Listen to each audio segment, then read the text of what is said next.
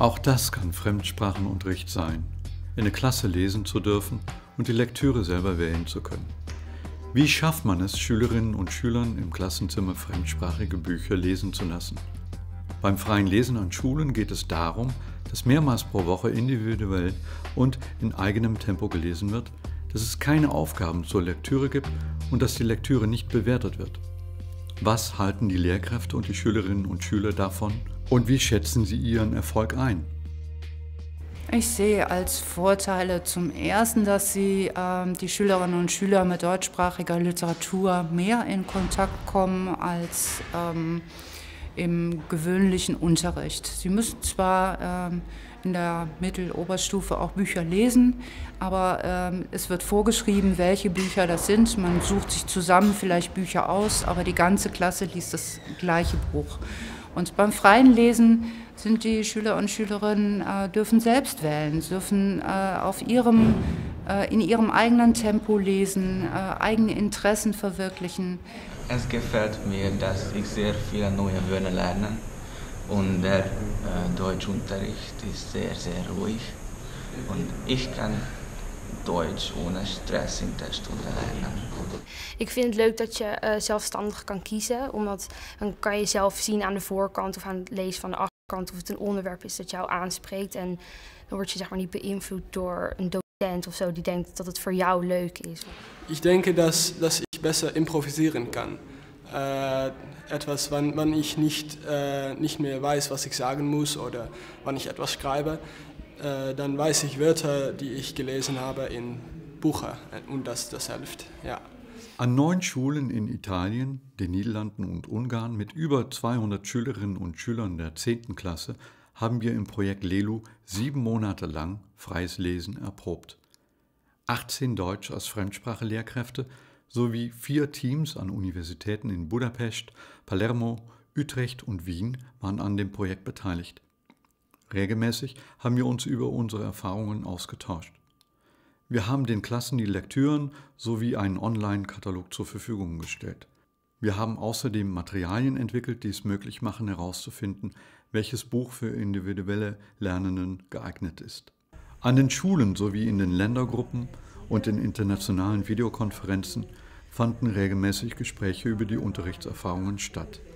Dabei haben wir länder- und schulspezifische Herausforderungen und Lösungsvorschläge diskutiert. Lehrkräfte haben Unterrichtsvideos ausgetauscht und schriftlich sowie mündlich individuell und miteinander über ihre Herangehensweisen reflektiert. Daraus ließen sich zahlreiche Erkenntnisse über das freie Lesen im Deutsch als Fremdspracheunterricht gewinnen.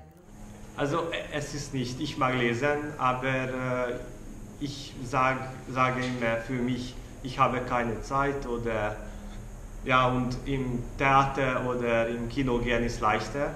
Also was ist gut in diesem Projekt, dass ich äh, jede Woche äh, Zeit habe nur für Lesen. Also ich habe fast eine Stunde nur für Lesen und das ist sehr positiv für mich. Am freien Lesen gefällt mir eigentlich sehr gut, dass die Schüler selbstständig etwas wählen, was sie im Unterricht machen. Also natürlich müssen sie lesen, aber sie wählen selber ein Buch. Sie ähm, können selber entscheiden, ob sie das Buch durchlesen wollen oder zurücklegen wollen. Sie können halt Sachen ausprobieren und sie machen nicht was, was ich vorgegeben habe.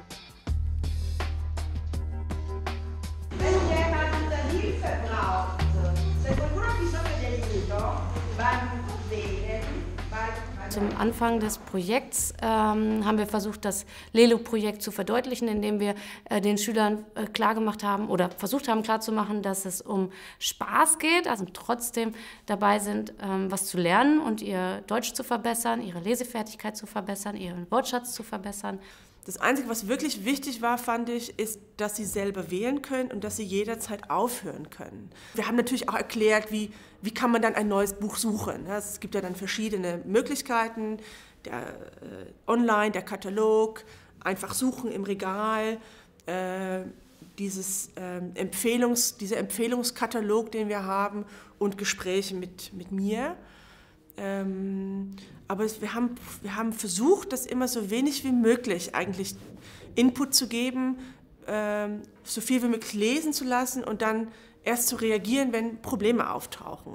Ich gucke nach die, äh, nach die Plätze und, auf das Buch und äh, ich lese die Rückseite und dann äh, lese ich es ein, zwei äh, und dann, äh, als ich es interessant finde, ähm, dann lese ich es für.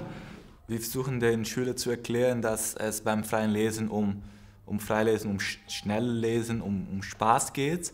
Und da geht es zum Beispiel auch, dass, dass die Schüler ähm, das schnell lesen können. Das haben wir zum Beispiel an Tachometer äh, gemacht, dass die Schüler ähm, selbst, selbst einsehen, wie, wie schnell lese ich genau, ist es auf dem richtigen Niveau. Und ähm, dann gelingt es auch gleich zu erklären, wieso ein, ein Wörterbuch äh, schlecht dazu passt. Weil das ähm, stört die Geschwindigkeit und stört wahrscheinlich auch, auch den Spaß. Ja,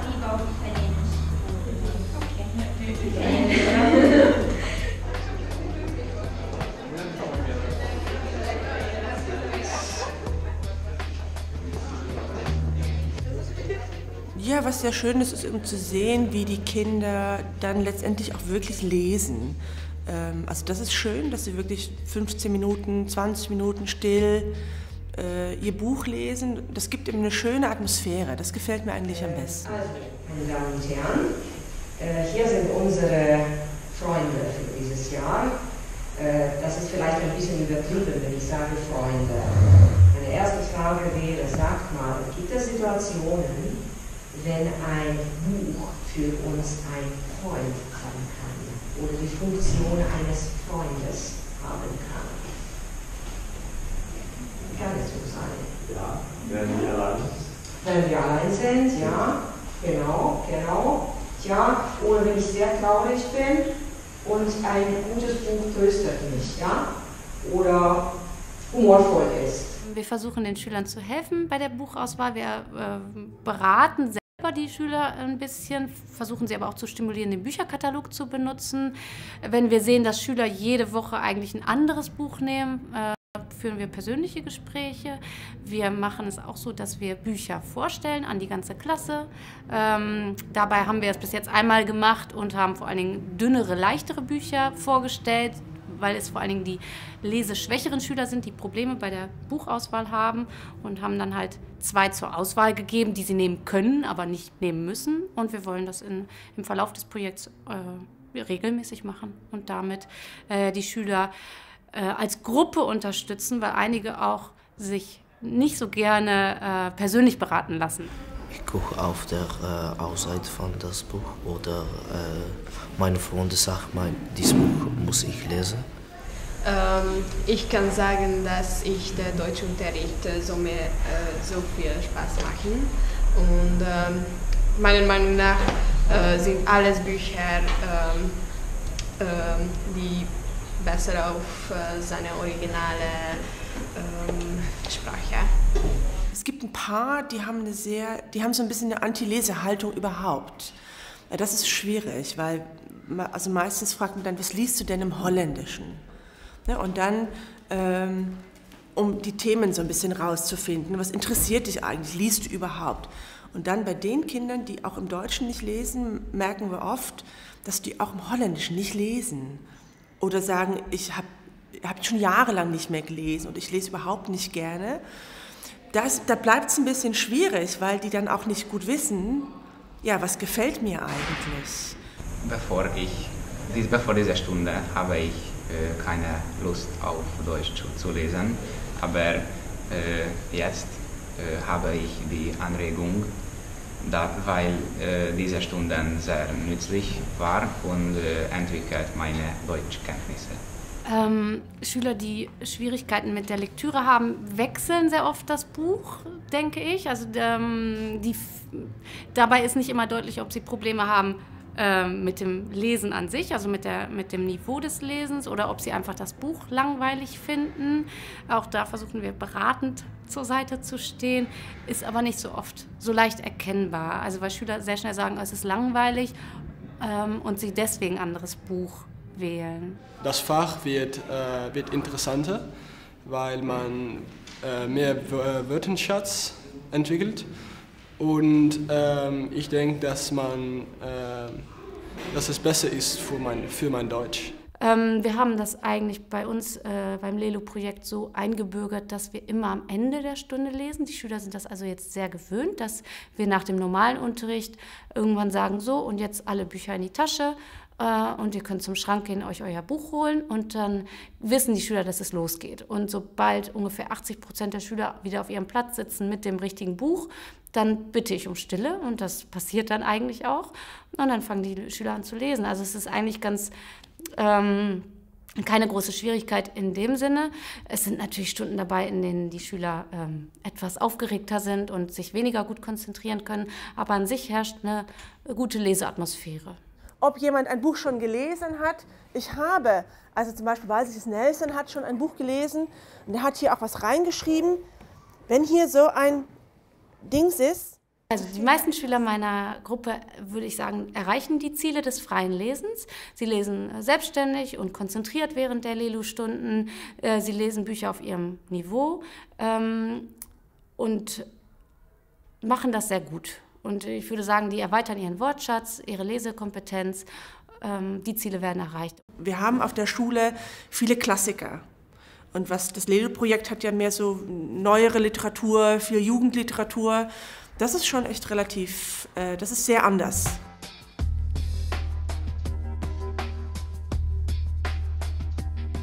Was vor allem sehr anders ist, ist diese Leserolle. Also wenn wir anfangen mit Lesen, dann probieren wir als Lehrer auch zu lesen. Wir haben gemerkt, dass es einen positiven Effekt hat, dass dadurch schneller eine Art, eine Art, so eine Art Leseatmosphäre entsteht. Ähm, das Problem dabei ist dann ein bisschen, dass natürlich diese andere Rolle des Aufpassers wegfällt. Und auch das haben wir gemerkt, das ist dann schwierig, weil wenn ich lese und vertieft bin in ein Buch, dann merke ich nicht, welche Schüler vielleicht nicht lesen und plötzlich auf ihrem iPad irgendwas machen. Also das ist, eine, das ist schwierig.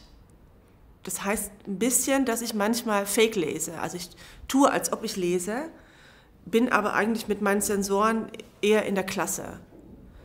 Das ist eigentlich das Schwierige, weil es auf der einen Seite schön ist, selber auch zu lesen und gemeinsam zu lesen. Auf der anderen Seite gibt es dadurch halt auch wieder neue Probleme.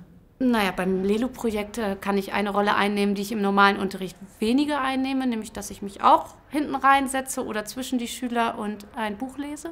Dass Schüler Schwierigkeiten bei der Lektüre haben, weil ähm, sie verwirrte Gesichter haben.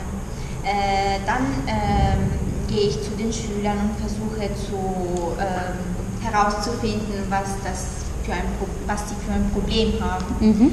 Und äh, bei der Bücherauswahl merke ich, dass die, dass die Schüler Probleme haben, weil sie äh, ständig äh, viele Bücher blättern und nicht wissen, was sie machen sollen.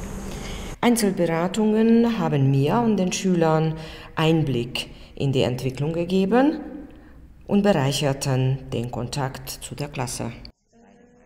Warum ist es so wichtig für euch, dieses Projekt?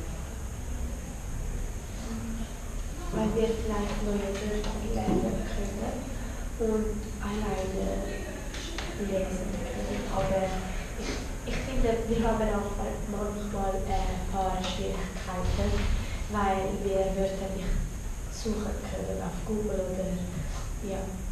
Es ist unserer Meinung nach äh, ganz sinnvoll, es am Ende der Stunde zu machen, oder wir empfinden das als sehr sinnvoll, weil Schüler dann einen Ruhemoment am Ende der Stunde haben, am Freitag sogar am Ende des Tages, am Ende der Woche und das eigentlich die Stunde und den Tag ein bisschen in Ruhe abschließt. Also Sie haben jetzt ähm, äh, auf Inhalte getroffen, Sie haben jetzt äh, Inhalte kennengelernt, die Sie oder die wir bis jetzt äh, in der Stunde nicht thematisiert haben. Mhm. Und diese Inhalte bewegen und äh, ja, bewegen die Gedankengänge der Schüler. Und ich bin jetzt auch davon überzeugt, dass sie über diese Inhalte dann auch im späteren nachdenken. Es gab ungefähr drei Phasen.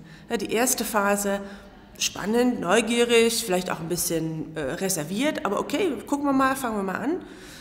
Dauerte so vier, fünf Wochen vielleicht. Dann kam so ein Hänger rein, was, schon wieder lesen, äh, mal kurz auch so ein bisschen Aufstand, nein, wir suchen uns jetzt kein Buch raus. Äh, gut, dann, dann suchen sie sich wieder ein Buch und dann, und dann kommt so die dritte Phase, wo dann äh, so einige plötzlich anfangen, okay, jetzt verstehe ich, wie es funktioniert, wenn es mir nicht gefällt, lege ich es weg. Okay, was will ich denn eigentlich? Was interessiert mich denn? Und dann diese Bücher mal wirklich angucken und mal wirklich den Klappentext lesen. Und ähm, das war dann so am Ende. Eltern, Schulleitung, Kolleginnen und Kollegen zeigten sich interessiert. Viele Lehrpersonen wollen das Freilesen auch in der Zukunft fortsetzen. Wir haben untersucht, welche Erfolge bei den Schülerinnen und Schülern erzielt werden konnten. Es hat sich gezeigt, dass die Klassen, die zweimal in der Woche frei gelesen haben, im Vergleich zu den anderen Klassen, die am regulären Programm mitmachten, sich positiv entwickelt haben. Sie haben in den meisten Fällen etwas besser abgeschnitten im C-Test, der die allgemeine Sprachfertigkeit misst, es zeigte sich auch, dass sich die Schülerinnen und Schüler durch die Beschäftigung mit dem freien Lesen motivierter im Deutschunterricht und sich in ihrer Lernerautonomie gestärkt gefühlt haben. Das freie Lesen im Fremdsprachenunterricht zahlt sich also aus, wenn genügend Zeit dafür eingeräumt wird.